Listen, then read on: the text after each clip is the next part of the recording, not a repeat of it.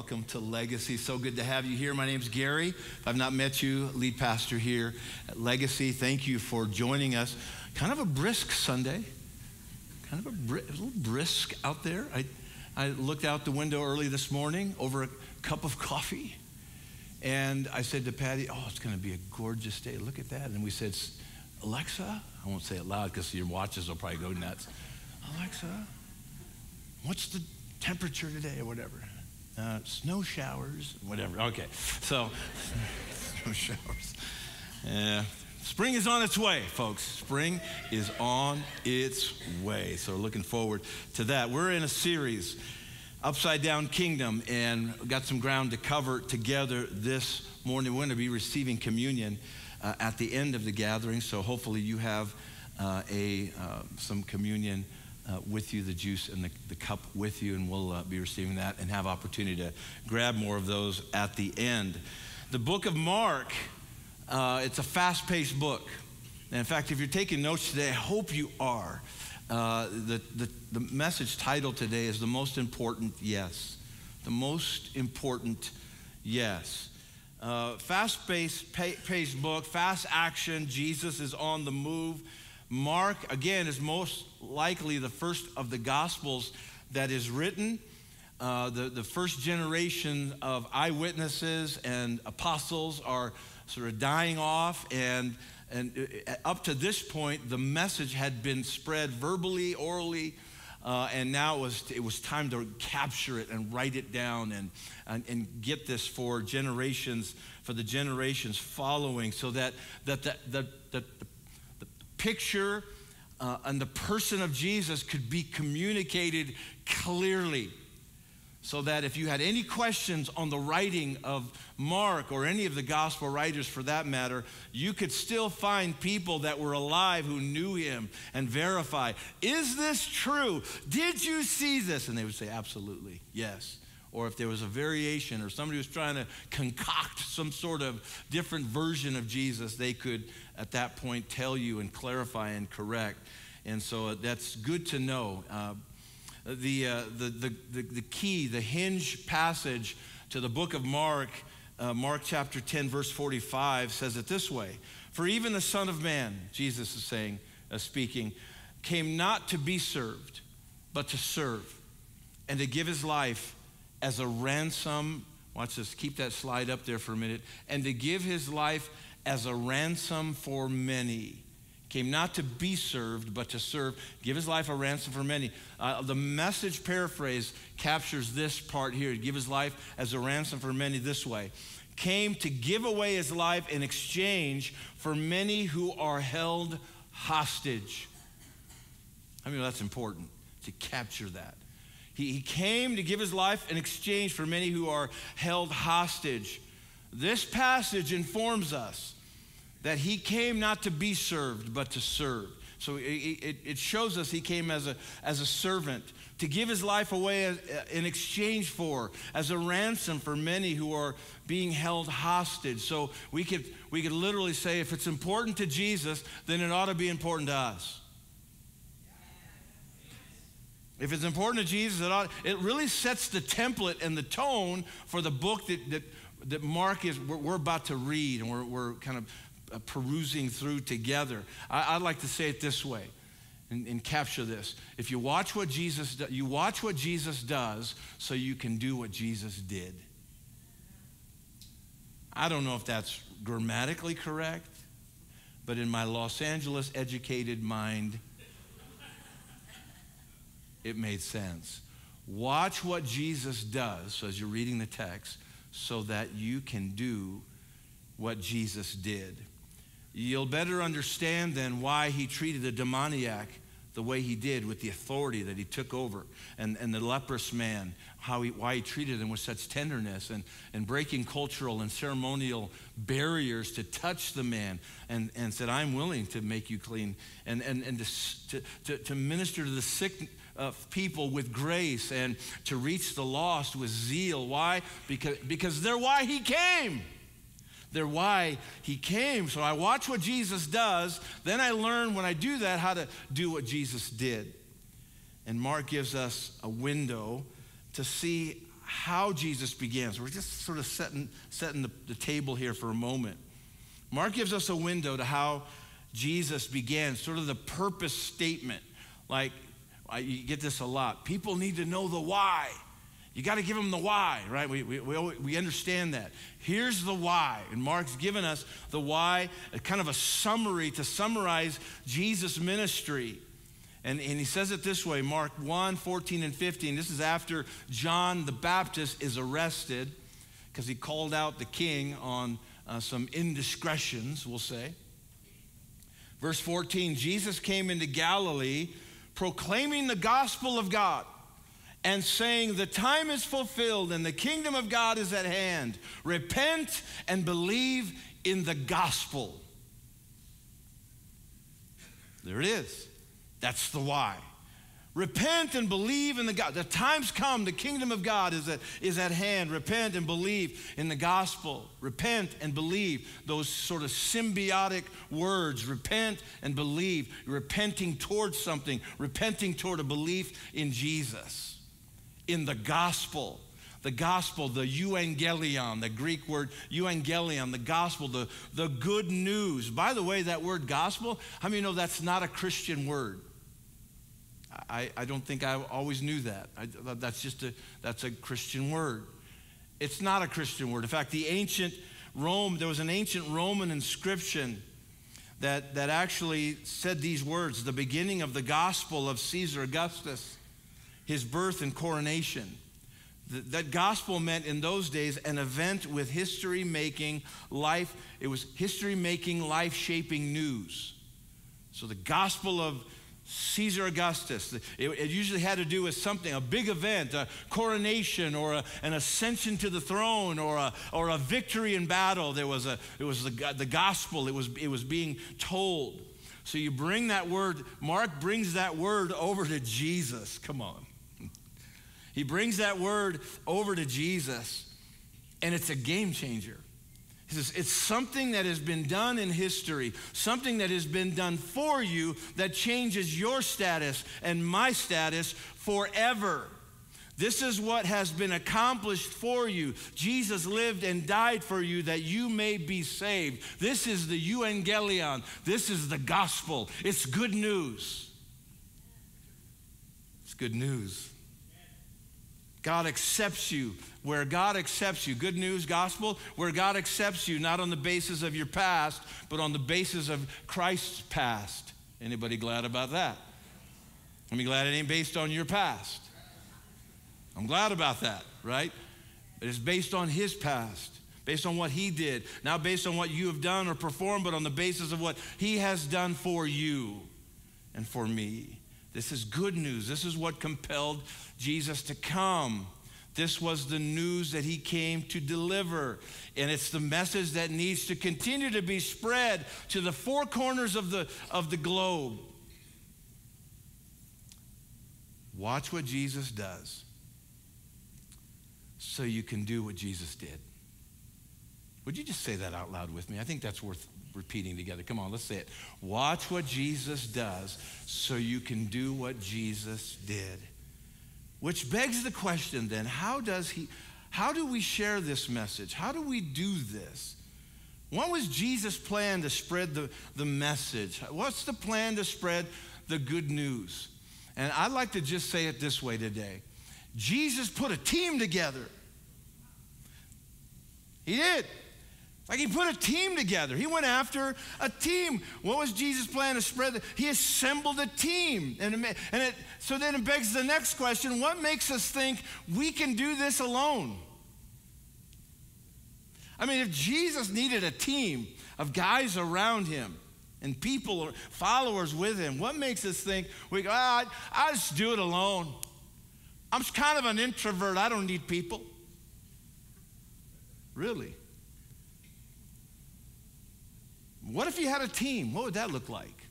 What if you had support around you? What if you had people that actually believed in you and looked at you and said you're willing to walk alongside of you and with you and were for you and encouraged you like on a week to week basis? What, imagine, imagine that. That's a team. So I want to look at today how Jesus assembles his team. uh, the call, we'll call it the call of the first disciples, the call of the first apostles. And here's the narrative in Mark chapter 1, verse 16. It says it this way Passing alongside the Sea of Galilee, he saw Simon and Andrew, the brother of Simon, and this would be Simon Peter, uh, casting a net into the sea, for they were fishermen. And Jesus said to them, Follow me, and I'll make you become fishers of men. And immediately they left their nets and they followed him. And going on a little farther, he saw James, the son of Zebedee. Zebedee. And John, just worth saying again. And John, his brother, who, uh, who were in their boat mending the nets. And immediately he called them, and they left their father Zebedee in the boat with the hired servants, and they followed him. This next slide is a picture of the Sea of Galilee, a sunrise. We got to enjoy that sunrise over the Sea of Galilee. A little blurry, a little pixelated, but maybe from your perspective, just let's leave it there just for a peaceful moment as you're thinking about the disciples being called. It was along that pretty cool experience walking along that shoreline where these disciples were, were called. Two sets of brothers, Simon and Andrew, and then James and John. And the others are called later Levi, uh, Matthew, at least the, the, the Mark account.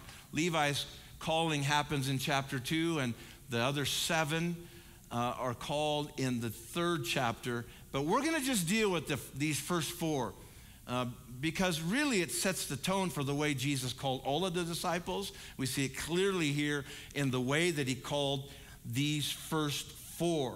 Uh, one commentator had a kind of a humorous take on this, which I liked. He said, The order of how, we, how the, the, the disciples were picked is really not primary. It's not a primary focus. It says, rather, the emphasis is on the fact that they were even called at all. like these are normal dudes, right? None of them were worthy of Jesus' call. Few, if any, were of noble background, and none of them had religious clout. At least four of the disciples were fishermen. Simon was a zealot, part of a political group that sought to overthrow the Roman government. Matthew worked for the Roman government as a tax collector, would have been viewed essentially as a traitor to the Israelites. And Judas Iscariot, Judas Iscariot eventually betrayed Jesus. That's the team, folks. So I'd like to look at the, this, how uh, Jesus pulls together his disciples three ways. Write these words down, if you would. The call, the cost and the cause. The call, the cost, and the cause.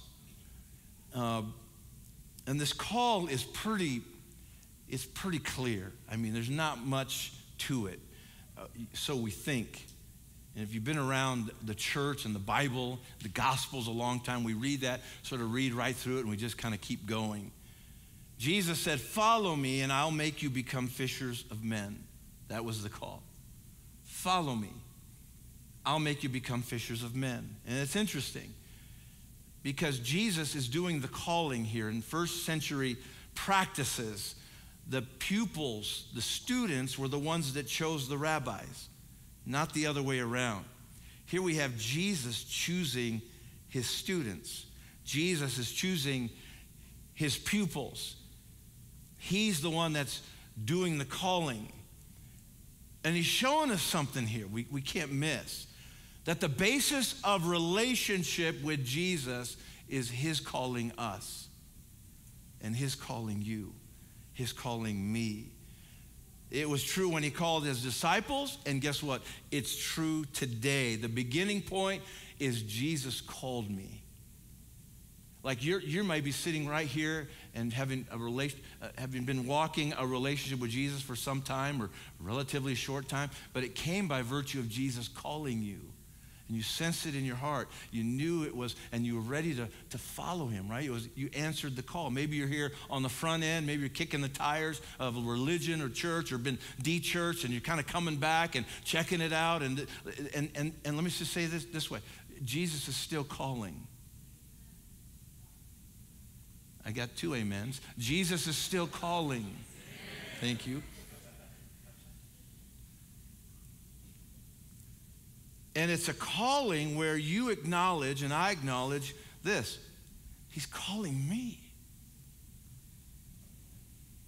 He, he, he's calling, he's calling me. And we've all been in those awkward circumstances and situations where you're, you're kind of, maybe you're walking through a crowd. Let's just say the farmer's market. You're walking along the farmer's market and somebody's walking towards you and they're going like this. And you're looking, and you're kind of and you start responding because like they're looking right right looking right at you but then you realize as you get closer they're looking through you and by you. And you're going like this you go hey. Come on you done that? It's really i mean i've even talked to them hey what's going on? And then you just keep walking by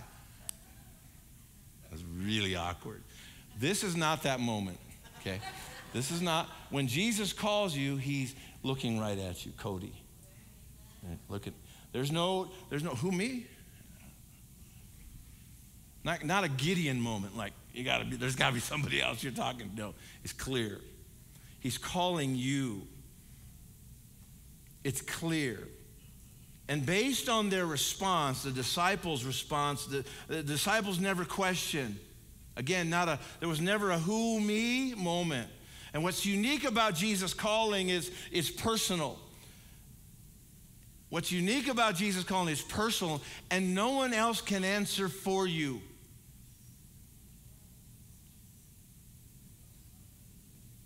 You're not called, unique about Jesus calling, you're not called in mass. Okay, if your last name ends in M, line up right here. I'm about to. Okay, this group over here, this group right over here, are you going to follow? No, it's personal. It's your name, Roger. It's your name. It's not by family or tribe or pedigree. You're called tenderly, lovingly, individually by name, your name. And let me just say this names are important to Jesus, right? Read that in the Word, you see that throughout Scripture. Names are important to, to God. Your name, Mark, your name is important to Jesus. Not only that, it's a Bible name. All right.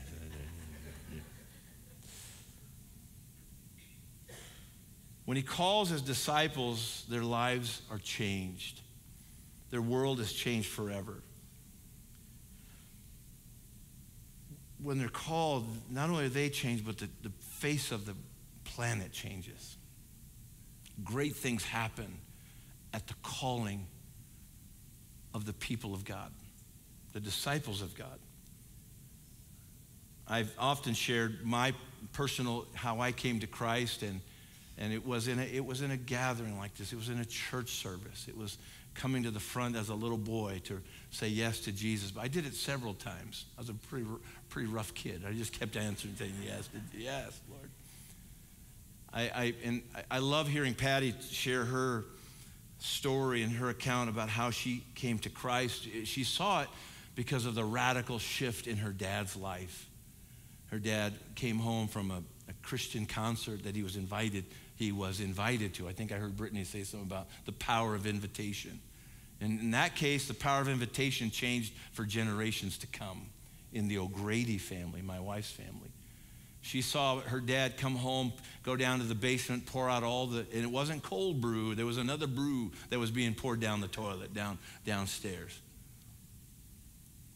and, and never turned back.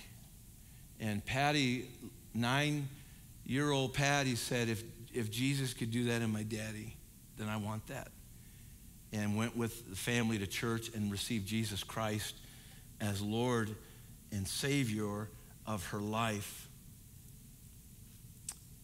And she's never turned back from the Lord. At Legacy Church, we have legacy kids. We have generation of students, five and 10 year olds, five through 10 year olds. We'll call it the age of accountability, right? Age where kids can really understand that they're making a decision to follow Jesus. And the question to us is, and this is more of an in house question, I get it. Who among us will there be to help them understand the more, most important yes in their life? Who will be there? And this really is a call and a charge to parents as well. Who among us is willing to step into those environments on a Sunday and, to, and be sure that our kids have an opportunity to hear the call and to respond to the call? I mean, think, think about it. The disciples had no scope for what Jesus was calling them into, and it would change them forever when they said yes mom and dad, parents, grandparents, there's no greater or higher call that your children will answer than answering the call to follow Jesus. It's the most, let me say it, it's the most important yes they will ever declare. And let me tell you something, there's a lot, there's a lot of voices that are going to be calling them. We need to teach them early how to answer the most important yes. And, and I love that we have uh, church, our church, church environments here, Legacy Kids, is going on, and they're hearing about Jesus, and they're understanding how to hear his voice and to, and to worship him. We have environments. We have Legacy Kids Camp. I know 20 plus kids went to a, a kids conference uh, just a couple weeks ago, and they're still talking about it. My, my, grands, my grandkids were on that trip, still talking about what Jesus did and the experience that they had. Let's teach them how to tune into Jesus' call now. So you have to call, the call of call of the most important call and the most important yes. Let's talk about the cost. The cost of following Jesus. We know this, it's costly. Ah, we know you're going with this, Gary. It's costly, I get it. It's intense. It's going to require something from us. No, we're not hiding it. It's not bait and switch. Oh, everything's going to be wonderful. Notice the scope, though, of the disciples' answer. Jesus said, Follow me, and I'll, and I'll, and I'll make you to become fishers of men. Look at Mark 1, 6, 1 18. And immediately they left their nets and followed him. That's a, that's a whole verse. Like send that as an encouragement card to somebody and look, birthday card. And immediately followed, immediately dropped their nets and followed him. Happy birthday.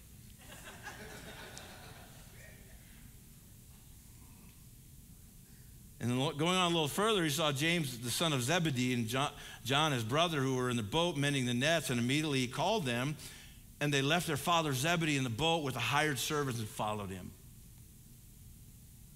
The, the, the disciples' response Simon, Peter, and Andrew dropped their nets. Simon, Peter, and Andrew dropped their nets. James and John left their dad in the boat. Old Zeb got left behind. And in first century tradition and culture, that would have been a big deal to leave your family. That was your identity. You didn't just walk away from your family unless Jesus was calling you. Like in modern culture, it's easy. Like, ah, you leave mom and dad. Hey, no big deal. But I think what the calling is, the cost of that, I think Jesus would want us to know. It's like, think of the most valuable thing. Like, I'd be willing to give up my career to follow Jesus. What's, a, what's in the modern mindset of the modern culture? What is the what is the most important thing that we hold dear and near to us? Jesus says, I want priority over that. Your career, your business, your loves. That there's nothing in your life that's greater than your love and your devotion to me. That you couldn't remove yourself from in order to follow me. Jesus is saying, was lean in a little more like looking like me, pleasing me, serving me, knowing me, must become the supreme passion of your life. Everything else must come second. Everything else must come second. I will never forget uh, my youth group. Thank God for a great youth ministry. We're going to pray for Jose and to pray for our youth staff. But I'll never forget standing in youth. Our, my youth pastor happened to be a songwriter, and he'd write these worship songs and bring them and then just try them out on us youth, right? And one of them was, Oh, I want to be like Jesus, to follow in his way, made completely in his image, more like him each day. Oh, I want to be like Jesus regardless of the cost. For without the life of Jesus, I know I would be lost. What was, what was my youth pastor teaching these 15, 16, 17 year olds? Everything else comes second. There's a cost attached to following Jesus. That the goal to following Jesus is to look more and more like him. That the longer I follow him, please get this, the more I should reflect his image. Watch, was, watch what Jesus does so I can do what Jesus did. Watch what he does. We're talking about the cost of following Jesus, and again, to modern, to the modern culture, to the modern ear, this is hard stuff to swallow. I understand that. It's what keeps it what it's what keeps people maybe away from church, and it's what keeps people in the church from fully engaging because it sounds that that sounds a little bit radical. That sounds a little bit churchy. Like that's a little too religious for me, but I think I just I think I'm just okay kind of right here and you know like here is like like here's like not following Jesus and here is radical. I just I think God's called me Gary to be somewhere right here in the middle. And I just have a hard time finding that in the Bible. Anybody with me? I just I think if I'm just here in the middle, that's my call, that's my gift. Disciples are dropping everything to follow Jesus. But because Jesus, yeah, well, let's, let's, just, let's just push a little further. He gives stronger language in Luke's gospel. Luke 14 says, Now great crowds accompanied him, and he turned and he said to them, If anyone comes to me and does not hate his own father and mother, and wife and children, and brothers and sisters, and yes, even his own life, he cannot be my disciple. And we all go, See, there it is. That, there. That's why I'm in the middle. That's strong language. In fact, that would be a great series, like the hard sayings of Jesus. That would be in that message. What's he saying? Let me tell you what he's not saying. He's not saying hate your mom and dad and your family. It's not an act, he's not saying hate actively. That would be a first John violation where he says he who hates his brother is like committing murder. But he's saying hate comparatively. Comparatively speaking. I like Tim Keller's take. He says, Jesus is saying, I want you to follow me so fully, so intensely, so comprehensively, so emotionally, so supremely, so enduringly that all other attachments in your life look like hate by comparison. There's no I'll obey you ifs. No conditions on our obedience. Like Jesus, I'll obey you if my health is good and things go right and my family stays together and that relationship that I'm kind of, you know, if that could just, you know, work because the moment, you know, like the moment things go south and I'm out of here. When we say, I'll follow you if, what's after that if is usually what's master. When we say, I'll love you if, What's after that if is usually the thing that is driving our life. Jesus says, Follow me. And the call is, is personal, it's clear, and it demands an answer.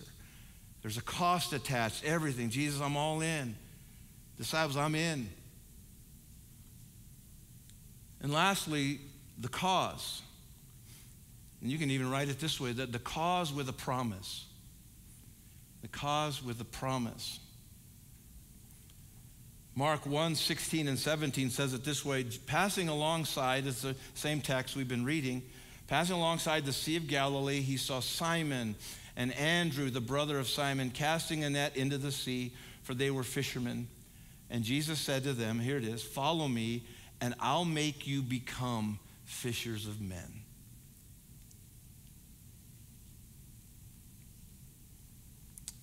commentators, are different, different takes on that translation. Like that's the most accurate of all the translations. Maybe you memorize it and I'll make you fishers of men. But the problem with that translation is we're not robots. He doesn't just turn us into disciple makers, that it's a process. He says, I'll make you to become fishers of men. So we have to ask ourselves what's the cause? What's the purpose of this? Because everything in everything today has to have a cause, right? Everything's got to have a good cause. Why are we doing that? Well, it's for a good cause.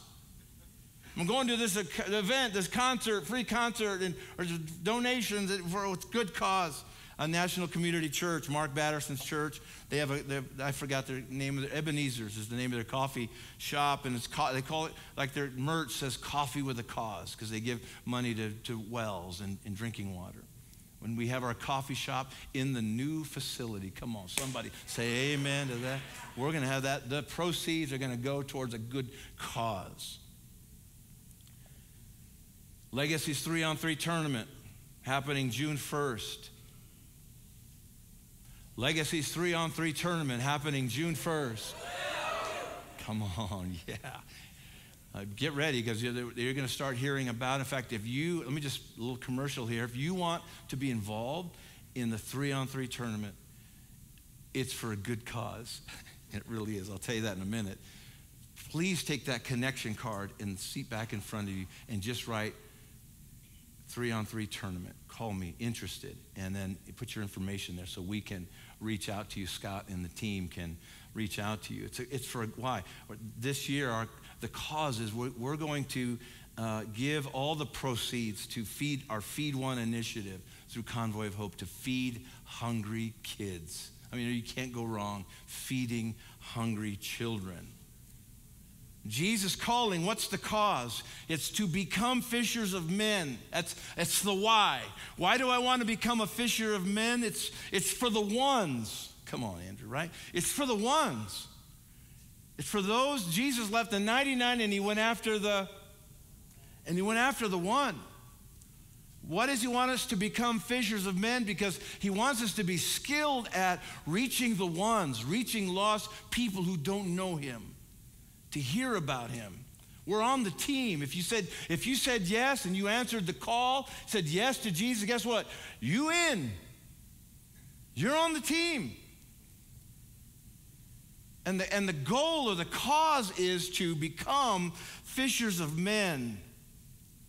Those away from Christ, those without hope apart from Christ. And here's the promise Jesus says, I'll make you become fishers of men.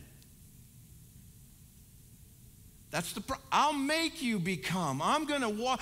You get it. You get behind me. You watch me. Watch what Jesus does, and you, so you can do what Jesus did.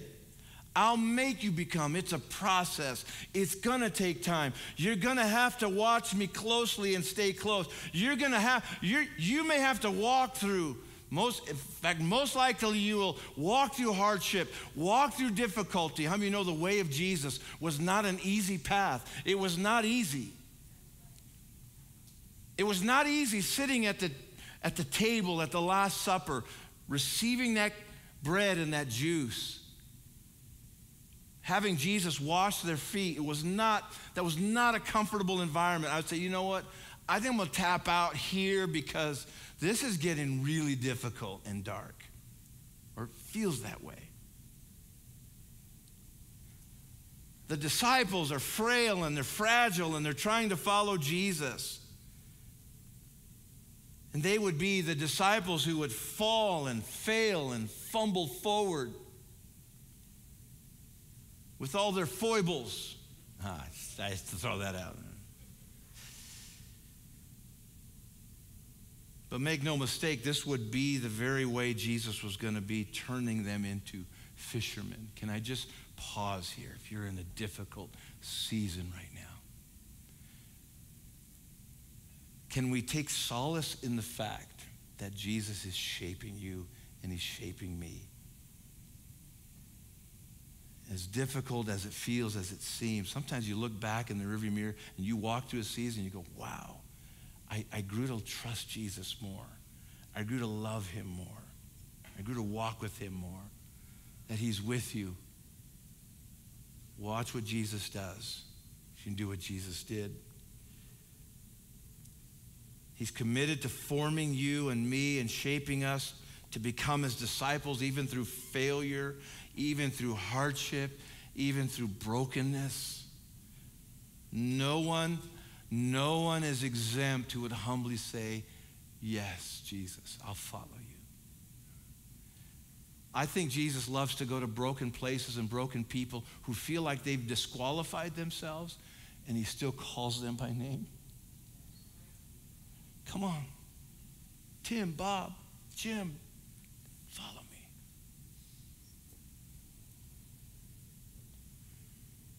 Watch what Jesus does so you can do what Jesus did. What's the, so, what's the goal? Make you fishers of men. Found this, and I think it's worth the price of admission. In biblical imagery and Hebrew symbolism, water and the sea, like what does it mean to be a fisher of men? What does that mean? Biblical imagery and Hebrew symbolism, the water and the sea were places of chaos and of death, darkness and coldness, represented the kingdoms of the world.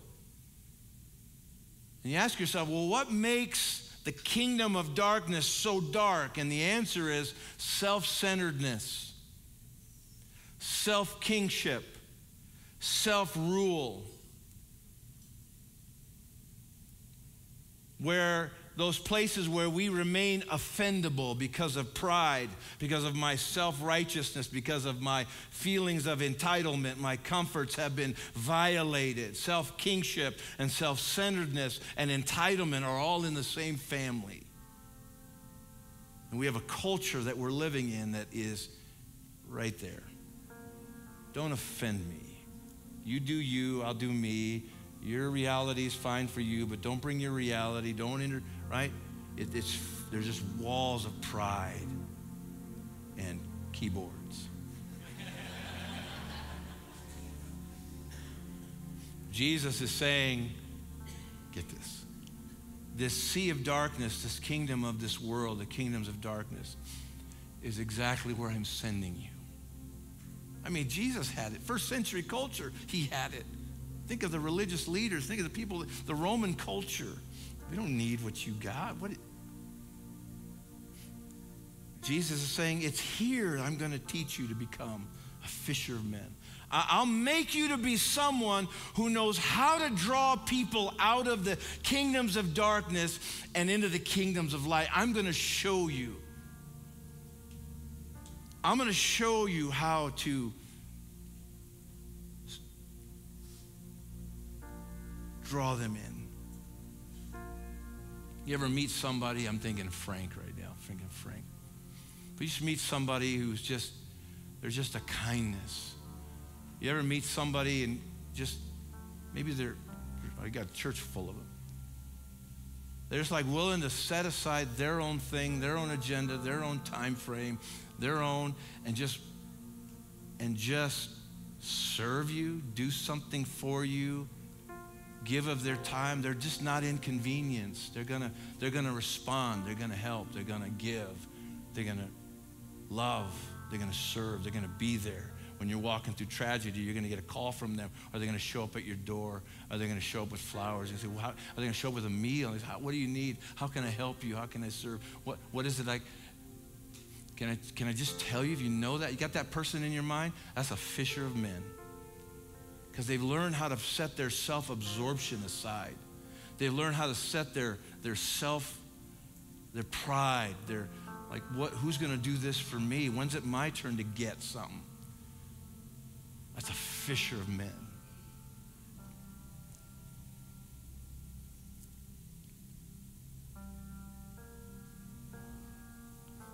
Committed to drawing others into the light. Jesus is passing by and he's calling. We'll close with this. And he's saying, Follow me. That's the call. And there's some, maybe here, you in this room, who need to answer for the first time to come to Jesus for the first time. I want to tell you, he's calling you. He's calling you by name. It's the most important yes you'll ever declare and give. There's some of you in here, you've stayed on the fringes for so long. You're that guy in the middle, that gal in the middle. Think, man, as long as I'm here, I'm, I think I can do this dance.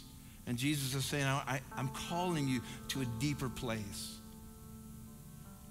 Some of you thought you were disqualified because of sin or failure.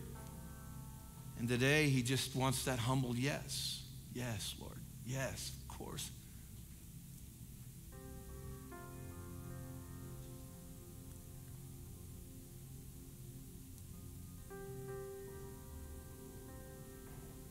He's calling you by name, and the answer question is will you say yes?